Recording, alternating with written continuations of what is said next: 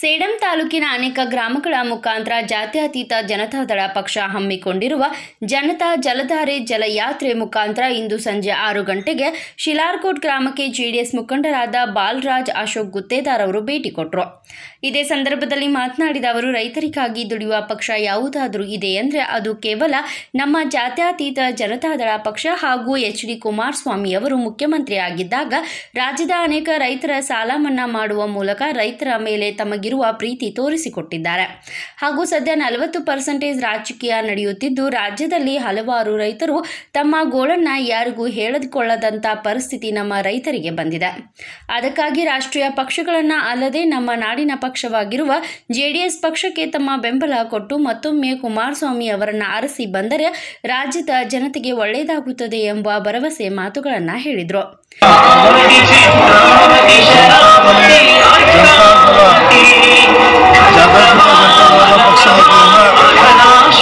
ವತಿಯಿಂದ ಜಲಧಾರೆ ಕಾರ್ಯಕ್ರಮದ ಒಂದು ನಿಮಿತ್ತವಾಗಿ ಈ ಒಂದು ರೋಡ್ ಶೋ ಮೂಲಕ ಎಲ್ಲ ಗ್ರಾಮಗಳಲ್ಲಿ ಜಡ್ ಪಿ ಹೆಡ್ ಕ್ವಾರ್ಟರ್ಗಳಲ್ಲಿ ಬಂದು ಎಲ್ಲರ ಜನರಿಗೆ ಜಾತ್ಯತೀತ ಜನತಾದಳದ ಮುಂದಿನ ಯೋಜನೆಗಳು ಏನೇನು ಇರುತ್ತದೆ ಅಂತ ಹೇಳಿ ಒಂದು ಮನವರಿಕೆ ಮಾಡಿದ್ರೆ ಇದು ಒಂದು ಕುಮಾರಸ್ವಾಮಿ ಅವರು ಮೊನ್ನೆ ತಾನೇ ನಮ್ಮ ಮಲ್ಕೇಡ್ ಗ್ರಾಮಕ್ಕೆ ಬಂದು ಏನು ಚಾಲನೆ ಕೊಟ್ಟಿದ್ದಾರೆ ಜನತಾ ಜನಧಾರೆ ಜಲಧಾರೆ ಕಾರ್ಯಕ್ರಮ.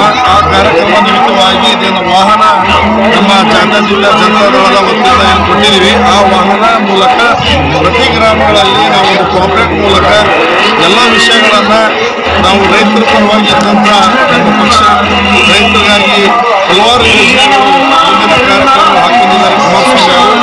ಈಗಾಗಲೇ ತಮಗೆಲ್ಲರಿಗೂ ಗೊತ್ತಿದೆ, ಸಾಲ ಮನ್ನಾ ಕೂಡ ಆದಂಥ ಪಕ್ಷ, ಬೇರೆ ಯಾವ ಪಕ್ಷ ಕೂಡ ಸಾಲ ಮನ್ನಾ ಮಾಡಿಲ್ಲ. ಈಗಿನ ಪಕ್ಷಗಳು ಸಾಲ ಕೊಟ್ಟು ನಾನು ಒಳ್ಳೆ ಕೆಲಸ ಮಾಡಿದ್ದೀನಿ ಅಂತ ತೋರಿಸ್ತಾ ಇದ್ದಾರೆ. ಎಲ್ಲ ಗಮನದಲ್ಲಿ ರೈತರು, ಜನರು ಎಲ್ಲ ಗಮನಿಸ್ತಾ ಇದ್ದಾರೆ.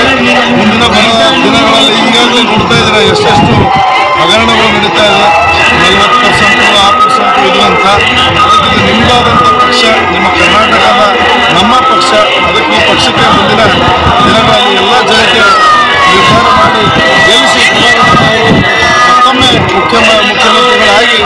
ನಮ್ಮ ರಾಜ್ಯವನ್ನು ಸಂಪೂರ್ಣವಾಗಿ ಒಳ್ಳೆ ರಾಜ್ಯವನ್ನು, ಮಾದರಿ ರಾಜ್ಯವನ್ನು ಮಾಡಬೇಕಾದ್ರೆ ಕುಮಾರಣ್ಣನವರು ಬರೋದು ಬಹಳಷ್ಟು ಅಗತ್ಯ ಇದೆ ಅಂತ ಈ ಸಂದರ್ಭದಲ್ಲಿ ಹೇಳಿ.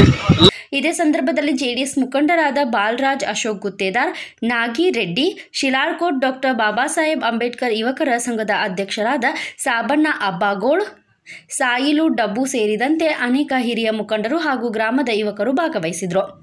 Bureau report Venkatappa K Sugal Bharat Vaibhav news Sedam Thanks for watching. Read, discuss, and debate with editor Dr. Yan Prashant Rao. Wanted reporters in print, digital, and visual media for Bharat Vaibhav Daily newspaper, BV News channel, and BV Fast Web News from all the talukas of Karnataka. If interested, send your resume to 9482633333.